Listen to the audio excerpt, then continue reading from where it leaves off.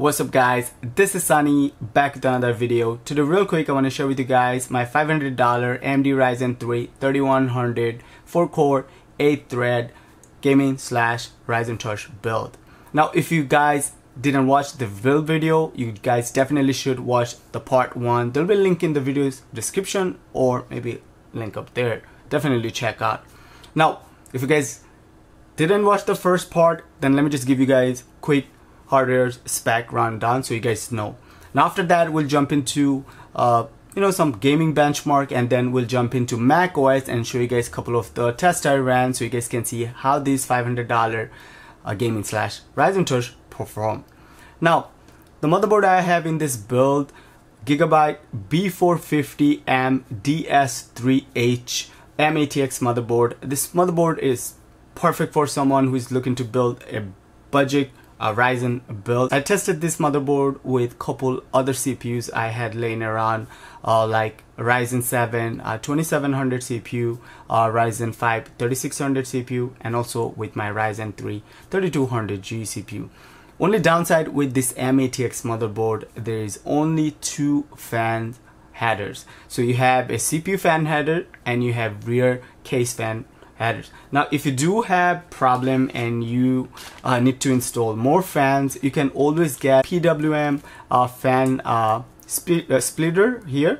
And basically, uh, you can uh, plug this PWM fan plug to any fan header on your motherboard. And then basically you can run three fans of one uh, PWM fan headers and this cable goes for around six dollars so you can definitely uh, pick up this cable from Amazon I'll leave a link in the video's description now uh, the CPU cooler I'm using uh, in this build uh, AMD Wraith Prism uh, cooler this cooler comes with AMD Ryzen 7 3700X CPU or the 3800X. I bought the CPU cooler used uh, from Facebook Market for $25. Also, I managed to overclock my Ryzen 3 3100 to 4.2 gigahertz and the temperature was somewhere uh, 70 uh, Celsius so temperature was pretty good. Now also I feel like I can uh, push the CPU even further. Maybe I can overclock the CPU to maybe uh, 4.3 gigahertz but then you definitely should go with the aftermarket CPU cooler like uh, Cooler Master Hyper 212. I feel like uh, AMD Wraith uh, Prism is not good enough for 4.3 gigahertz. Like you can overclock, but your temperature will definitely go up to like maybe uh, 80, uh, 85 Celsius. So definitely I don't recommend. Now, the SSD I have in this build uh, is a Samsung 256 gig SSD and I have a 1 terabyte uh, Western Digital uh, mechanical hard drive. Now, I I wanted to use the SSD and basically install uh, Windows and Mac OS on this SSD and do like dual boot with single SSD.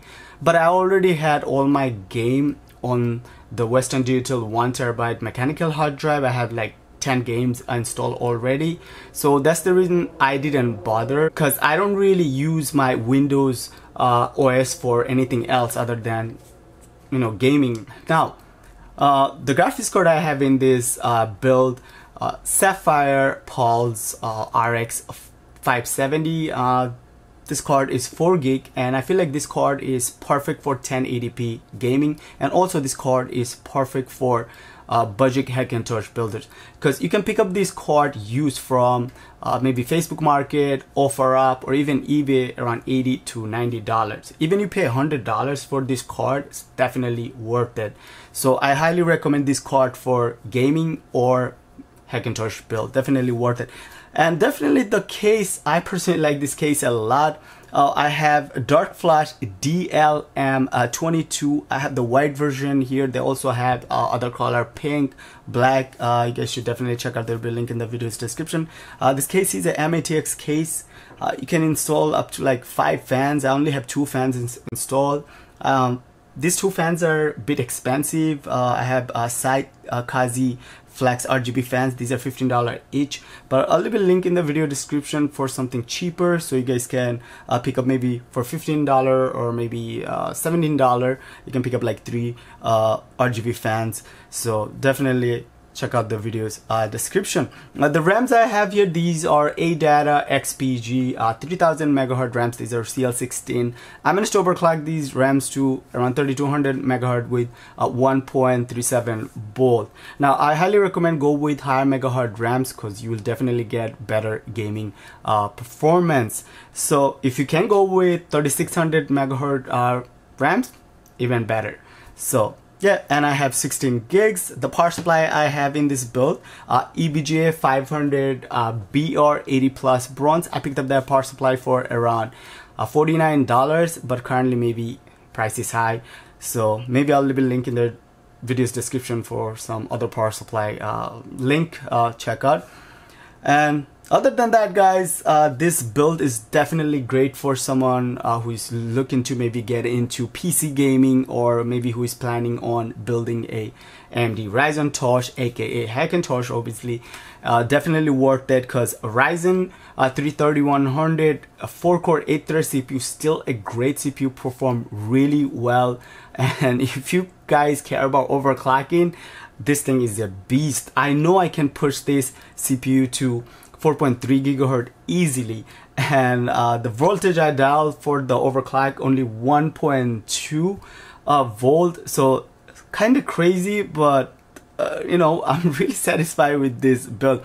And for now I'll use this uh, build for my like main workstation purpose gaming purpose. I just want to see uh, you know how this system performs. You know maybe I'll test this build for like uh, one month or maybe more and see how this thing uh, perform so guys let's not waste any more time. Let's jump in and show you guys a couple of the games I uh, tested. And also uh, I'll show you guys a couple of the tests I ran on like uh, Mac OS Catalina. So you guys will see how this system perform. Alright guys so let's jump in